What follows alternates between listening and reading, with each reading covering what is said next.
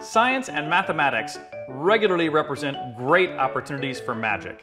In fact, it was Arthur C. Clarke, I believe, who said any technology sufficiently advanced is indistinguishable from magic. So every scientific or technical breakthrough that most people don't yet understand is a great opportunity for a magician. For example, in my home, I have this unique table. It looks like a simple little wash basin, but out of the black fluid that lies at the bottom of the basin can rise three-dimensional shapes. And it takes a wise student of science to realize what's going on within the table. In this case, the fluid is called ferrofluid, and the table is built with large electromagnets within it to create these great three-dimensional shapes.